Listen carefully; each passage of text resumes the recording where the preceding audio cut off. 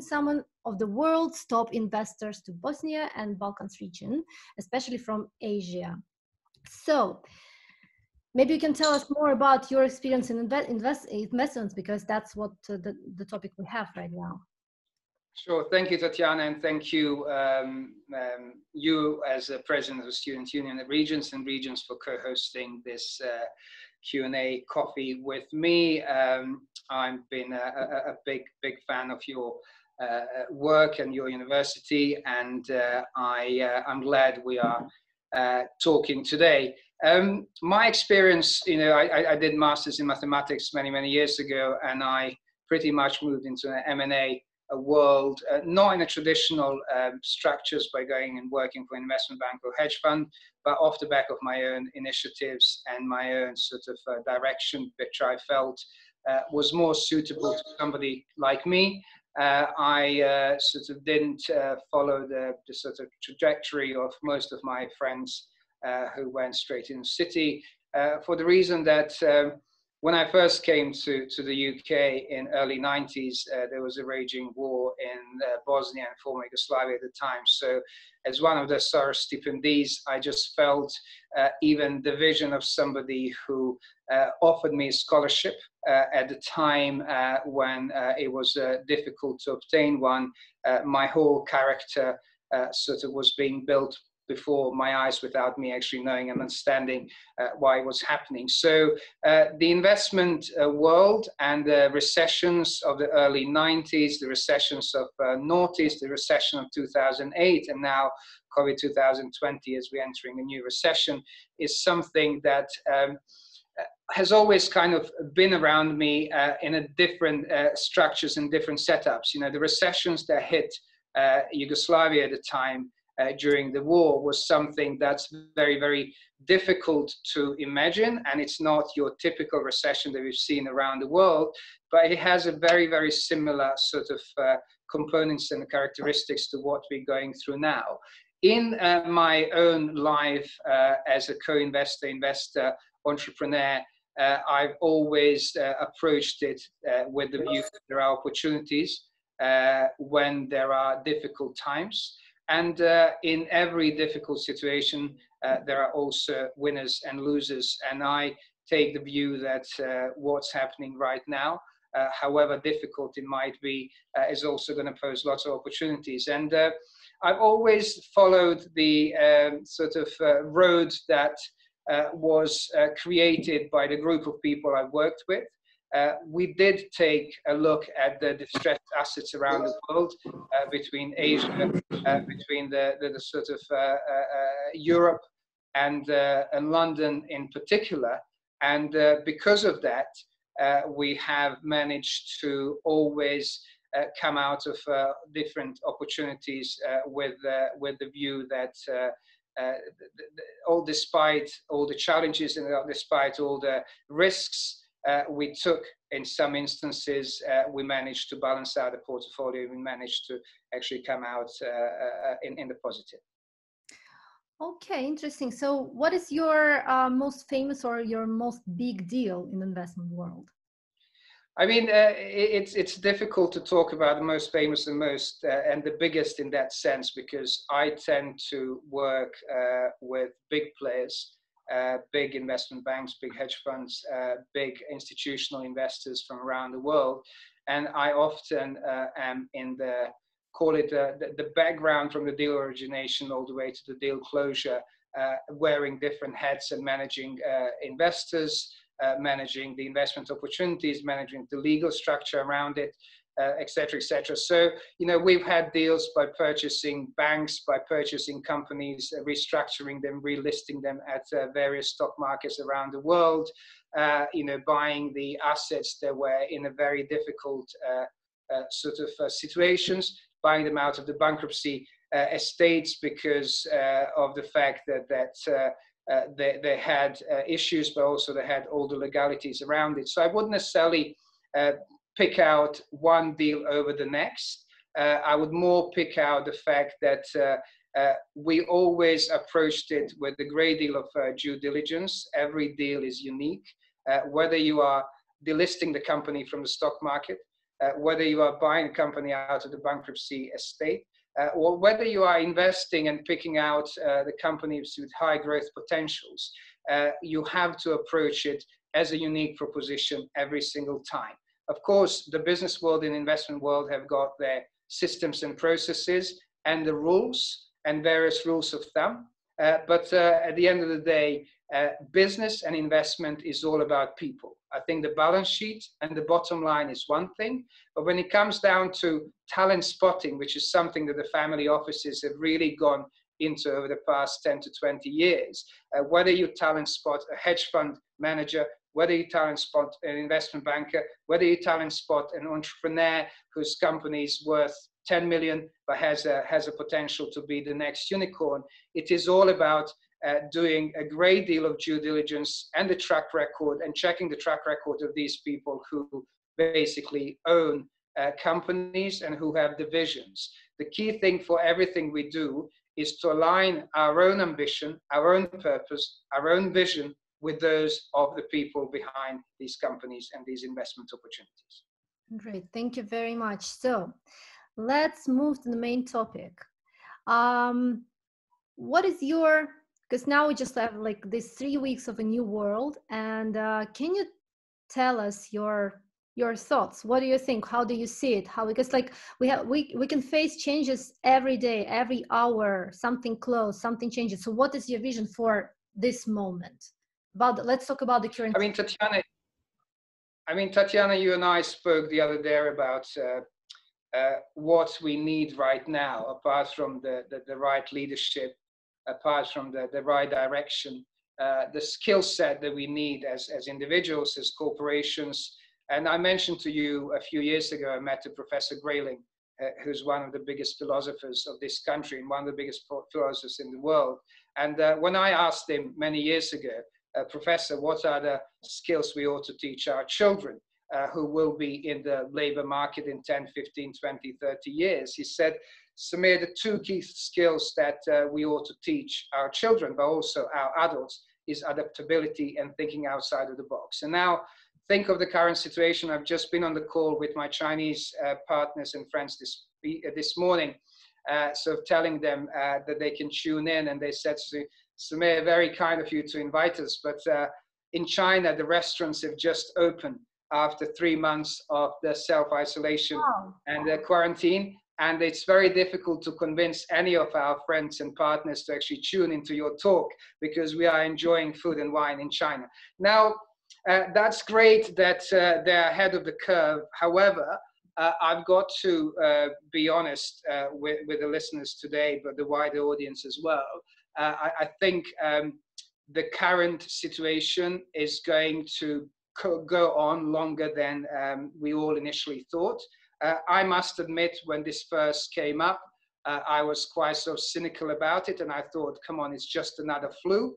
Uh, so I was somewhat flippant despite all my experience that, uh, you know, we're going to get out of this. We're, we're strong. We, we sort of uh, have a great character in the, in, in the times of crisis and we'll be able to deal with it. However, the more I've read into it, the more uh, I've talked to various people from astrologers uh, to uh, mental health campaigners and doctors to investors, the more I realize that we have to embrace ourselves for a long haul flight here. I personally think the situation at its current format is going to take three to six months rather than three to six weeks. I think we're going to have restrictions uh, uh imposed on us by governments from around the world for around 12 months. I think it's very important that we accept the fact that we have to adapt to the current uh, situation and use all we can uh, in terms of uh, reaching out to the right people, discussing it with the right people, and uh, and really quickly switching our lives and our businesses to the fact that uh, we will not be able to do proper face-to-face. Uh, life goes on as normal because the banking sector and the financial sector and the support mechanisms around us must carry on. We can't leave people in difficult situations and leave them to their own devices. Uh, I think I mentioned, uh, Tatiana, to you as well, my early experience of uh, coming from uh, the, the war torn country where our capital was under siege for 1425 days. Uh, and then I remember my own parents told me the story that I was going to go to London for three months. I was going to perfect my English, stay with my um, auntie and uncle and my cousins, as I used to come here very regularly before the war. And then within three months, I'm going to come back and continue with my studies. Obviously, the three months turned into three decades. And what was the key thing there? Um, I, uh, unlike many people who happened to be in Bosnia at the time, uh, was lucky and privileged that I could, although very, uh, very sort of uh, traumatically, watch uh, the uh, what was unfolding there on the TV screen in London. But I was in direct contact with people on the ground there who technically had to self isolate for three and a half years. Now, uh, during the course of the war in uh, former Yugoslavia, but in Bosnia in particular, these people had the hope. These people had the indications that the war was going to last one, two, three years rather than four.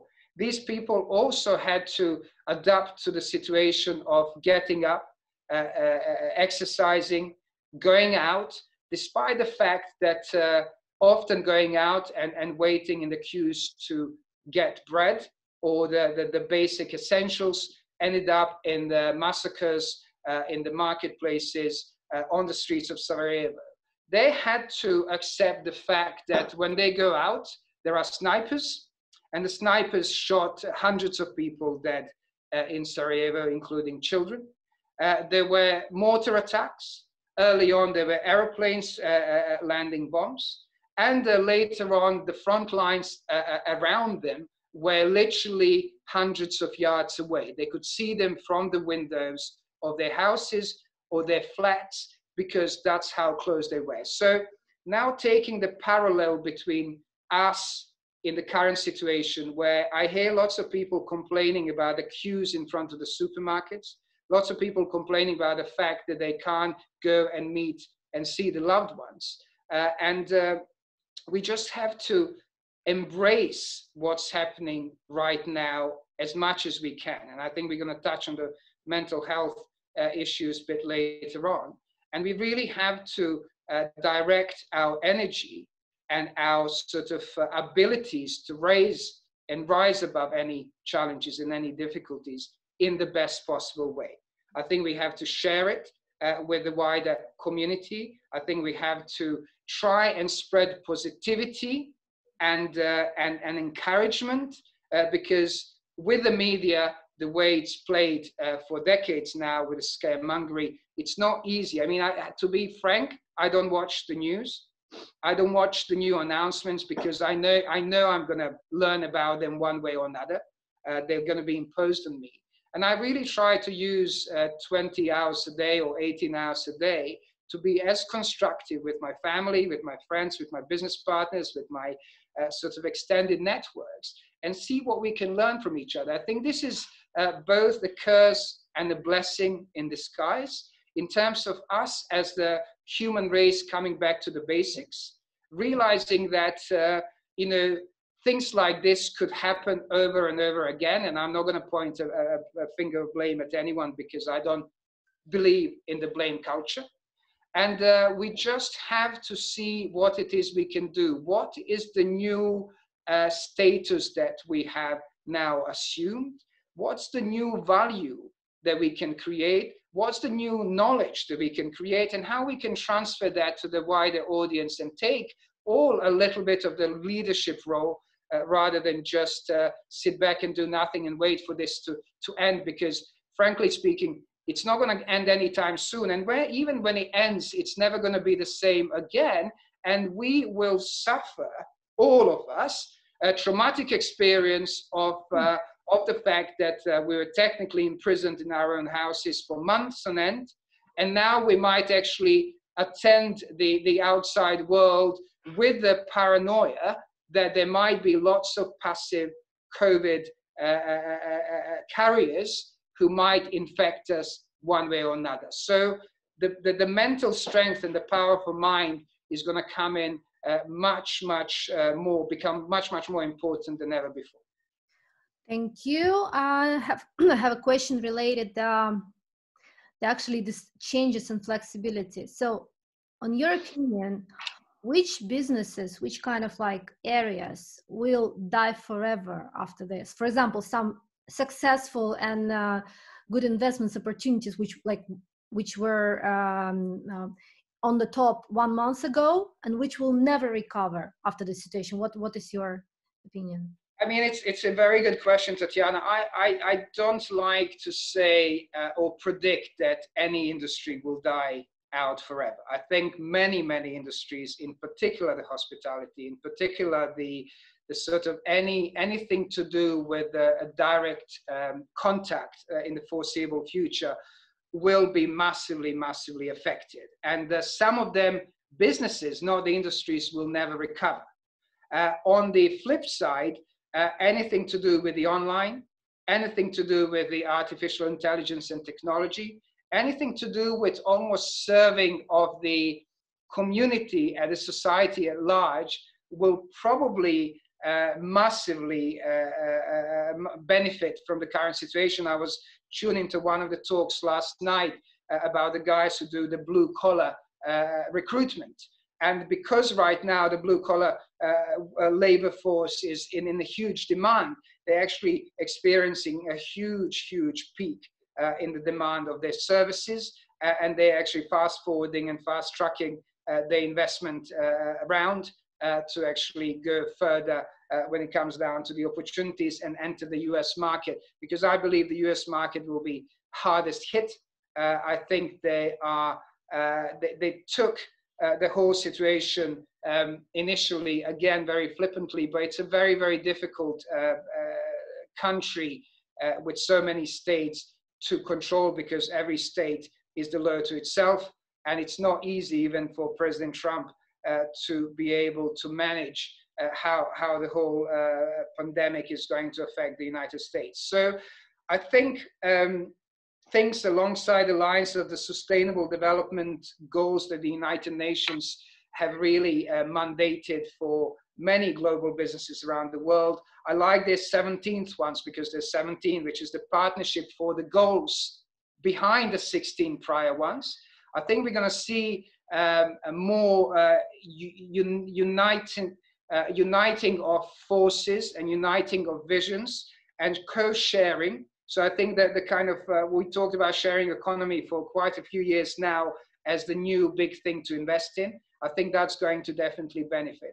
So um, I hope I answer your question. I, I wouldn't like to point uh, at any of the businesses uh, or any of the industries that will totally fail right now. I think it's, it's, it's, it's very difficult for me to say that. But you mentioned cost sharing, but uh, according to the current situation, when you kind of like get the virus from some uh, things you know? For example if we're talking about i don't know cars or anything kind of uh, um, where we have a co- common ownership that's the risk to get some you know um, I, I didn't mean it co-sharing in the physical way. I meant in a co-sharing in a in a way kind of virtual way because that's that's going to be our reality for the next for the in the foreseeable future uh, I think the uh, I'm reading more about the electrical vehicles and the ecological projects really gaining the momentum. Uh, I've been involved with Formula E uh, over the past two years, promoting it in the Balkans to try to give the whole region a, a new image uh, of the region that's and technology and sustainability. Uh, I'm talking to lots of people in, in the space of actually technology, ecology, even esports, because esports, lots of people think uh, are all about gaming, uh, which uh, to a large extent there are. But I recently met somebody who runs the British Esports Association, who's recently worked very closely with the Royal Force um, and, and the British military here in uh, creating the gaming rooms for some of the uh, soldiers that have come from very uh, difficult front lines in Afghanistan and, and the Middle East in particular, and uh, who felt so isolated, so anxious, and so depressed after uh, the real kind of uh, uh wartime sort of uh, positions and situations. So we're seeing, uh, for example, the Formula E races have all been cancelled. All the sporting events have been cancelled, as we know, including the Olympics in Tokyo. But people are really fast moving in going online and engaging with the crowds around the world. I think we're going to see that united front as a result of uh, uh, almost a fast transformation and overnight transformations of many businesses and many individuals' lives. Uh, in that direction. And I think that's a positive. I think uh, we will appreciate the importance of technology, but I think after this, uh, after this, uh, call it a war against COVID-19, we will also appreciate more the, the kind of human touch and face-to-face interactions, uh, which were just normal to us. I mean, I often talk about London being a very, very um, tough and vicious environment uh, because you're literally framed in a matter of seconds by people you meet at various networking events as somebody who can offer something or somebody who can't offer something. And you are sort of uh, bracketed and boxed into the cold, warm, or hot lead because obviously everyone's after business. Everyone wants to gain uh, a new opportunity and open a new network. But in actual fact, uh, people have forgotten uh, and lost themselves uh, that in actual fact, the real business is done through the common purpose. So if we have the common purpose to change the world, to improve our bottom line, to create something together and make it successful, profitable, and somewhat philanthropic, uh, we have to approach it in a very different way. I, I don't take uh, business cards to any networking events. I don't uh, often attend many, but when I do, because I just don't want to give cards away for the sake of it. I'm often surrounded by people who literally in the last five minutes of the networking event realize that they are about to lose a business opportunity that is never for real. And they start going around the room in the last five minutes, panicking and giving their cards away. And I often say to them, sorry, we haven't even spoken for a minute. I really don't want your card because I don't even know who you are and what you do. And I really don't want you to waste paper on me because we're very unlikely to connect. So I genuinely think there's going to be a big mind shift uh, when it comes down to uh, the, the current crisis we're facing. I think if we play this right, it's going to be hugely beneficial to us as a human race. Of course, there are going to be many, many people who will be affected uh, with the loss of jobs, with the loss of opportunities, with so many investments on pause and on hold right now because everybody's just waiting to see how the markets will bounce back. And the markets always bounce back. Uh, there will not be the crash of the financial market. It will not be the end of the world. None of that is actually true. Whatever the media is trying to feed us and scare us, uh, we must take uh, the situation in our own hands and do our bit. We must follow the guidance uh, of the governments in terms of the social distancing and everything else. I'm a big uh, promoter uh, of that. But uh, we genuinely will um, benefit as a human race, as a society, if we play this right. But we must embrace uh, ourselves for long haul flight, which will go uh, years beyond the next six to 12 months. I mean, we've seen China bouncing back in the record time, but I also know uh, China uh, is facing a huge, huge challenge to stop the comeback of COVID 19. And everyone who knows enough about the way these viruses operate actually is pretty confident, uh, if, if, not 100% sure, that the COVID 19 will come back to China uh, in early autumn. And they might have to go through it again, just like we will in, in the Western world. Yeah, currently that that's what happens now because uh, all European people and people from America they are knowing that uh, China is kind of safe right now. They're coming back and bring the virus again. So that's because if you don't watch news that much, I watch it once one time per day, so I can tell it for you. So. Uh, actually, I, I had a question about China because you have Chinese partners, and I, want, I wanted to know your opinion. You know, because when this uh, COVID situation happened, there was a uh, one kind of uh, version of the uh, uh, situation that Chinese kind of Chinese people, uh, they kind of created this virus or spread those virus to create the collapse. So um, owners of uh, the main shares of Chinese companies, they started to sell those those shares and very cheap. Chinese people bought it for a good price. It kind of like brought back the, the ownership of all plants and the businesses they have inside China. Is it true? What do you think? well, uh, Tatiana, conspiracy theories uh, really boom in the times of crisis. I mean, uh, I, I, I, I, we had them in the war in Bosnia in terms of the conspiracy of the certain uh, leadership uh, against certain members of the army and the generals. And uh, of course, uh, there's been conspiracy around this uh, from the day one and maybe even before it even started.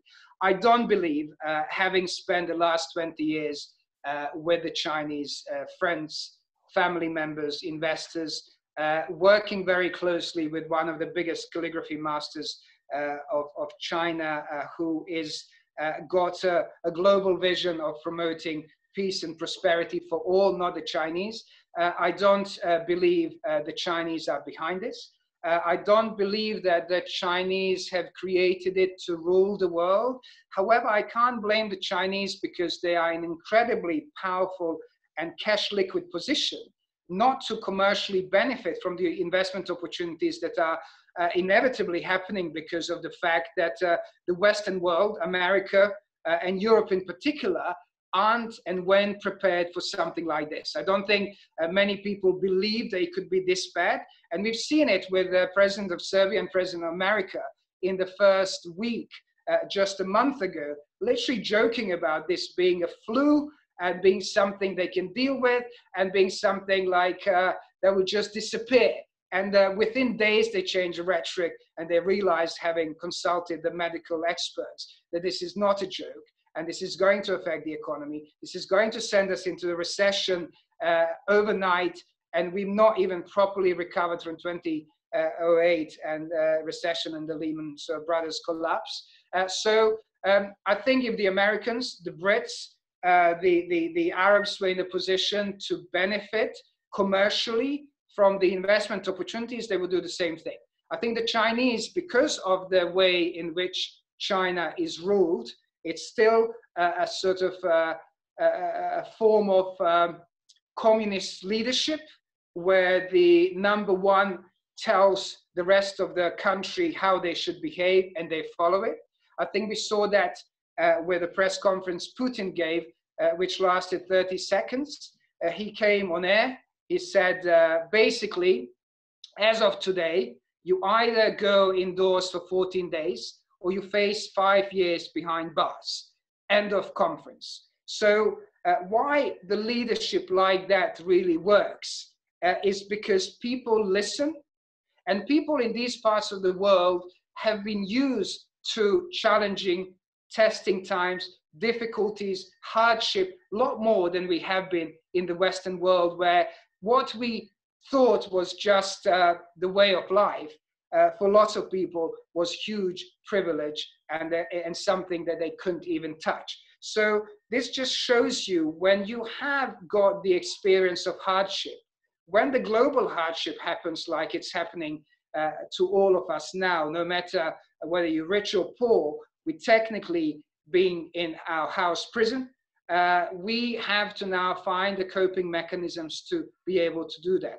As, I, as I mentioned early on in our, in our sort of uh, conversation, there are going to be many winners and many losers when it comes down to uh, investment opportunities, when it comes down to, uh, to the businesses that will go bust, and it comes down to the businesses that will go through the roof. So the Chinese are only doing uh, what they're supposed to be doing in the market economy, in the global village, and uh, in the investment world. Thank you. So the next question is actually um, about the investment opportunities. Uh, so now we have this uncertain situation, and of course, shares like going mad. And uh, some people for example i know they're buying uh, searching for lands in italy because italy right now is one of the worst country in case of the covid-19 and of course the price will, was going down. So they're kind of buying those lands you know assuming that it will go up again and will become normal uh, in soon. So in this global situation for example when us is the worst in, in case of the cases in the number of cases you know what is the opportunity? Where like for example so some people think that they have to keep cash. For example a lot of big businessmen they literally said like guys don't like don't do nothing just keep cash for now. Uh, some people say like okay try to invest in your business and push it even if it look like if it seems like you shouldn't shouldn't do it. So what is your um, advice? Like well, what do you think in, in this uncertain situation especially first few months when people literally don't understand what happened? There is an opportunity you're right. So what is the opportunity? Where to go? How what is the give, give us some tricks.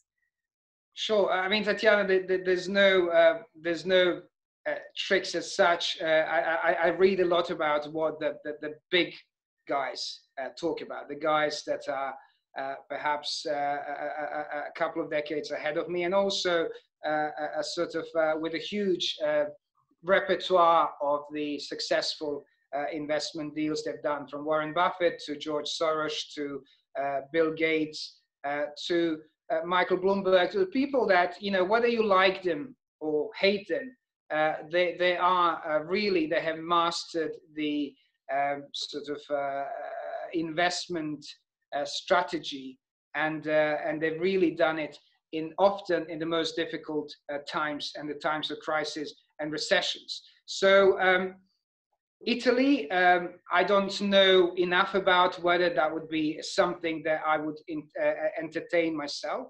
I think the key thing when you're looking at the investment opportunities, and I spoke to one of the hedge funds uh, in London that I've just launched, uh, in this uh, in this times of crisis, who are looking at uh, equities long and short, mostly European. the fund managers and the owners they are telling me that it's never been a better opportunity for them to pick the, the stock that in their opinion is going to perform. However, it's going to change their own business model and it's going to really suit those who are looking at the long-term returns rather than short and medium-term returns. I think with short and medium-term uh, uh, returns, the stock market uh, is going to uh, have the clear winners and clear losers. And I think my advice to anyone who's looking from real estate to stock markets to hedge funds to the VCs or any other investment opportunities is to do uh, an extra deal of due diligence. I think now the question is going to be of uh, doing uh, and, and narrowing your spectrum of investment opportunities from maybe what would have been 5% of the deals and the deal flow they would look at down to maybe 2%. Uh, really uh, have the people around you who know about tactical investment and investment in terms of crisis, the people that have sailed through the oceans uh, in the in the months of January rather than the month of June, July, in the ocean sort of times when the weather isn't really on your side. And uh, these are going to be uh, the important decisions that any investor uh, will have to make. I don't genuinely believe in keeping cash if you have the, the, the, the potential to invest is the right thing to do in boom or bust. In actual fact, cash or any currency is king in the times of crisis, even a lot more than in the crisis in the times of boom, because uh, you have a lot less competition just because the human uh, sort of psychology dictates that uh, we have to now sit back and wait and see what's going to happen. So uh, technology uh, is uh, going to really, the right technology platforms are going to boom in this. I think one's got to look at them. the real estate market will have its opportunities as well. Uh, it had it before the recession. It will have it during the recession. So one's got to again be very, very uh, knowledgeable about where where they sit. I don't know how Italy is going to take the entire thing. And I, my problem with Italy is liquidity of the market. So you might be able to acquire something that is basically very low uh, in price right now. But will you be able to exit uh, the, that investment opportunity is something I would, uh, I would question uh, when advising people to go into the Italian market.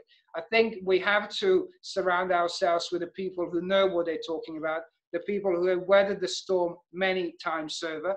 I think the, the kind of the club, investment club uh, structures that are going to be formed during this crisis uh, are going to basically unite people behind a common purpose and the, and the kind of uh, the, the sense of uh, being able to learn through the process because you know making a good investment uh, is one uh, one sort of uh, characteristic of people who invest all the time.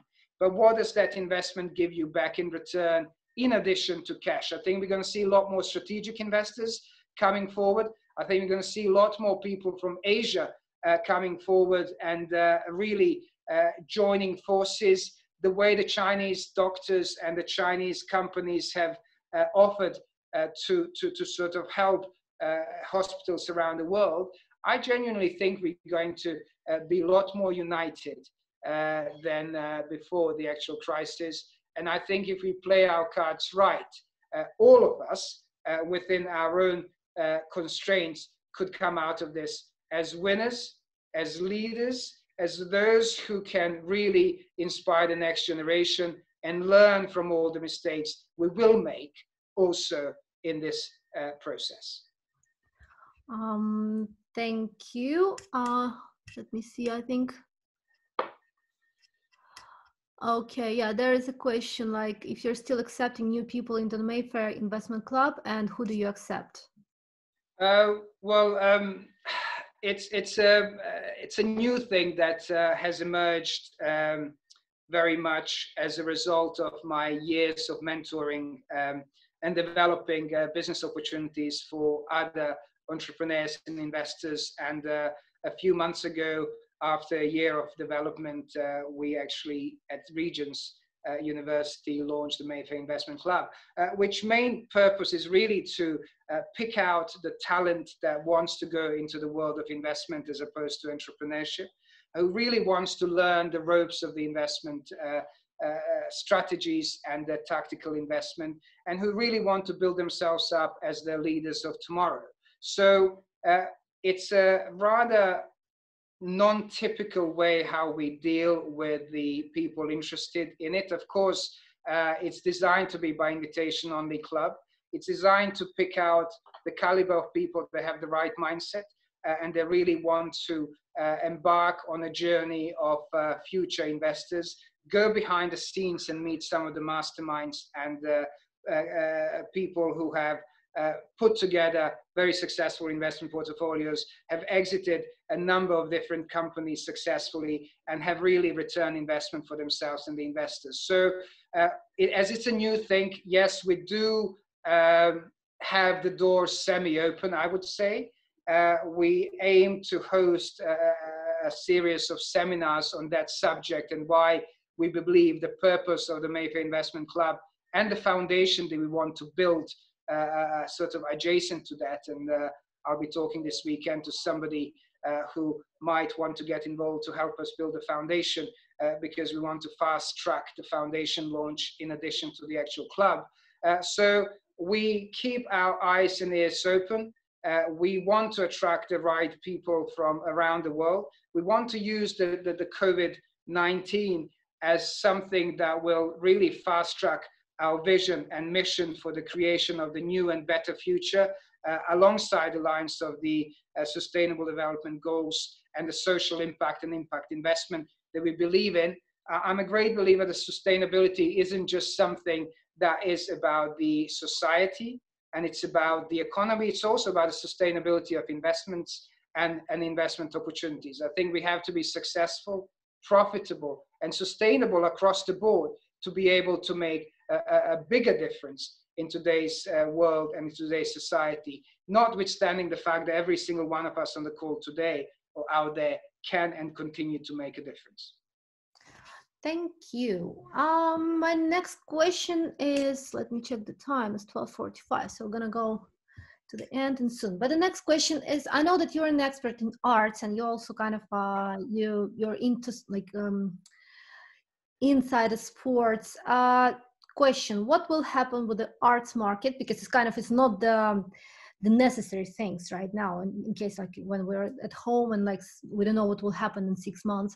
And what will happen in sports? Because for example if one year uh, sports people won't be able to properly train and gather in teams you know they're kind of lose qualifications what's your prediction? What will happen Um, uh, they, they'll, as you rightly point out, Tatiana, they'll be they'll be massively hit, um, and I think uh, considering um, the less, um, you know, art falls in the category of luxury, uh, so uh, people will try and put luxury on hold. Not everyone, uh, but uh, you know, in in every, um, if we look at um, the war times and if we look at the art that emerges out of the war situation, whether it's the Balkans in the 90s, whether it's the Second World War in the in the in the 40s, uh, I genuinely think that the art scene will boom uh, because it will enable artists to uh, now stay at home and without the pressure of having to sell, create the work that actually resonates with the society. I think we're going to see the maybe uh, disappearance of a very, very commercial art as it was being, in a way, flogged uh, into the marketplace. So we were almost dictated what to buy and who to buy because the media uh, played a vital role in that, and some super collectors did too. Uh, I remember people like Marina Abramovic, who's originally from uh, former Yugoslavia, is one of the biggest artists of today, uh, and many other artists from that region in the 90s uh, became successful because they continued developing art during the war and after the war. I think the art scene uh, will be hit commercially, but uh, uh, in terms of the concepts, in terms of the real value for the society, I think it's going to be uh, massively, massively sort of beneficial to us as a society. And we might all actually come back to the importance of art for our soul. I always looked at art as the food for soul, as our cultural dividend that we must all consume, uh, regardless of the fact whether you study history of art, fine art, or I genuinely believe and always believed, and that was part of my TED talk many years ago, that uh, art is for everyone. Uh, no matter whether you're rich and poor, you must consume it. And you can consume it whether you go to the local artist studio, whether you go to the uh, auction house, whether you go to a gallery in Mayfair or anywhere you, you might live. It's, it's, it's free of charge. Most museums in this country have been free of charge for a long, long time and have enable people to actually benefit. Uh, the sporting industry is going to have it tougher than the artists. And the main reason for that is become a, a huge uh, commercial uh, affair out there.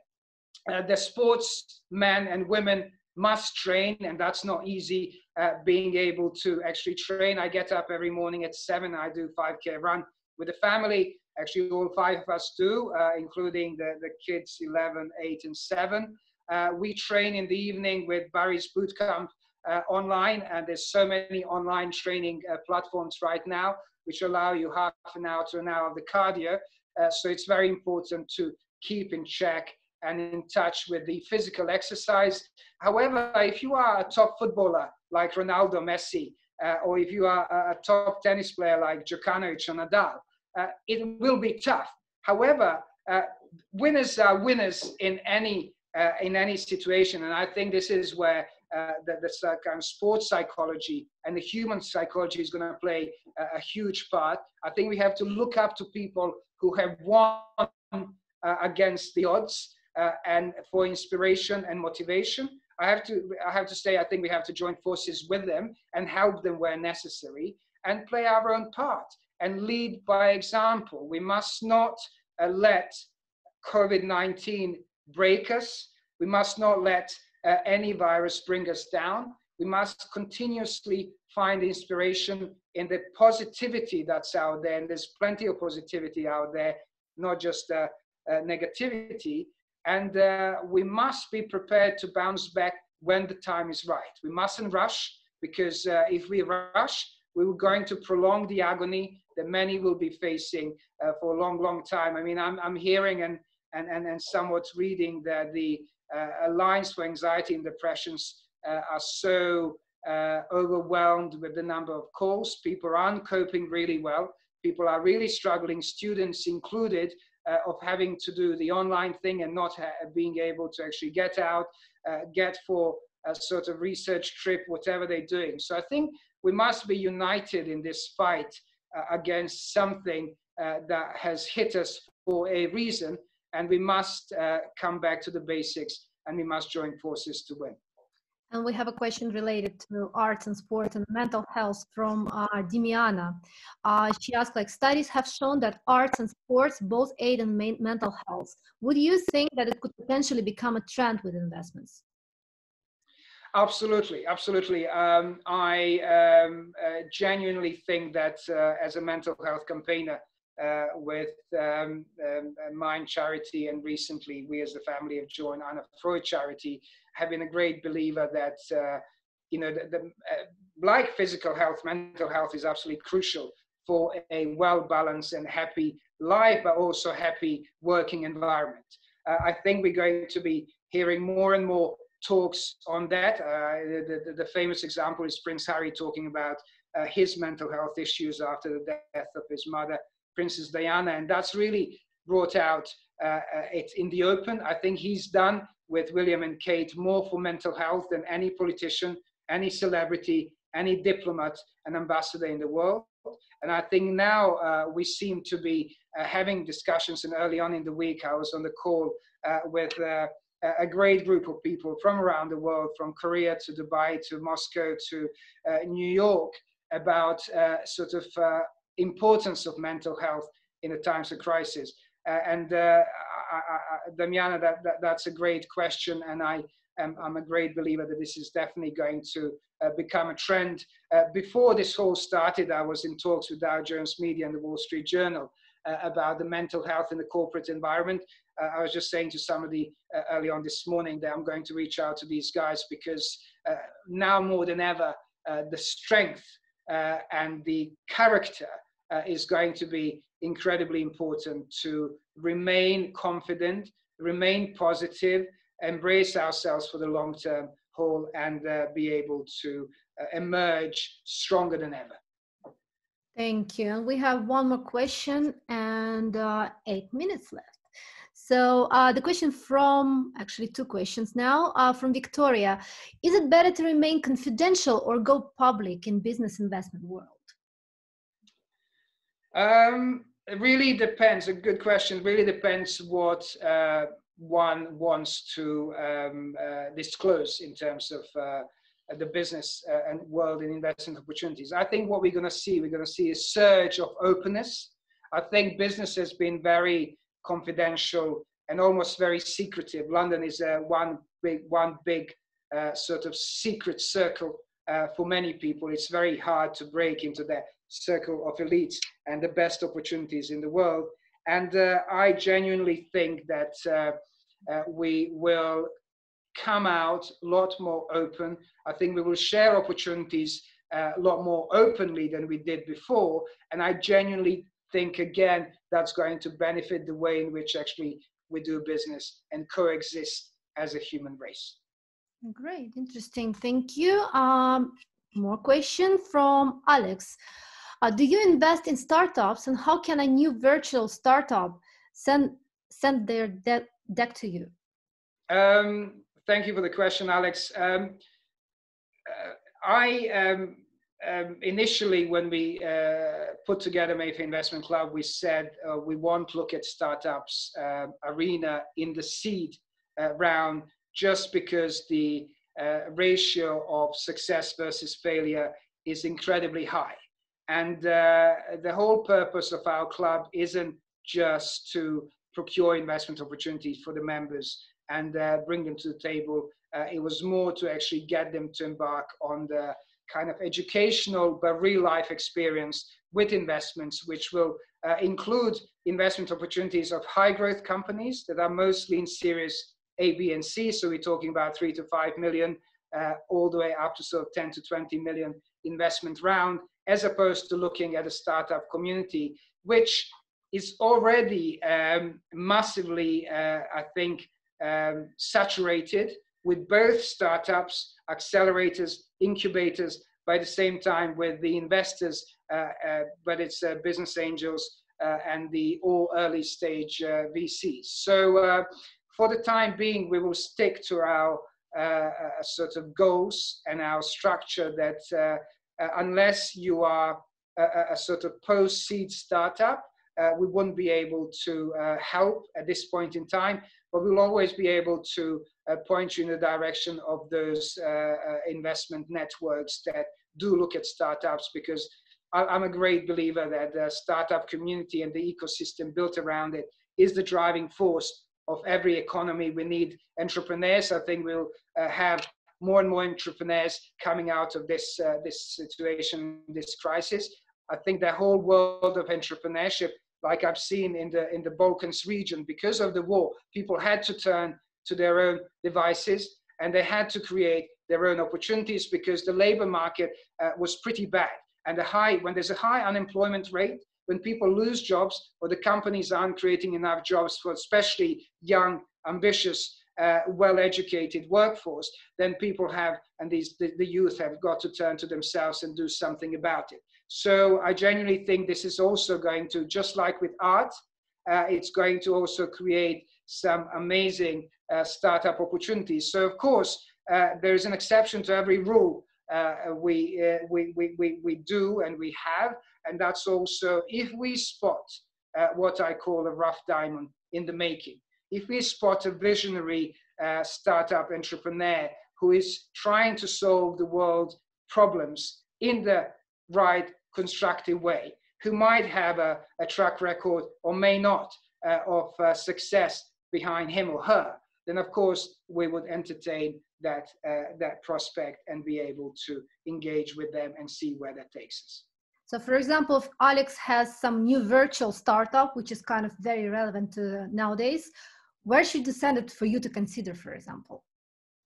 And try to. Um, I mean, obviously, uh, they can send it to the info at mayfairinvestmentclub.com. Uh, we, ha- we have a team that looks at any, any of the packs. Uh, as I said, I can't promise they will come back to everyone who does that.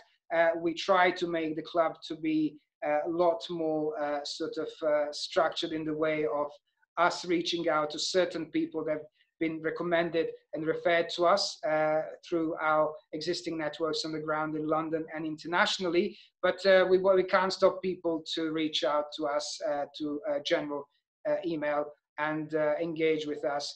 Mayfair Investment Club will not have social media pages. Mayfair Investment Club will not be the gathering for all just because uh, we want to create something that has the legacy. We want to create something that plays an important role uh, in today's day and age, in today's society.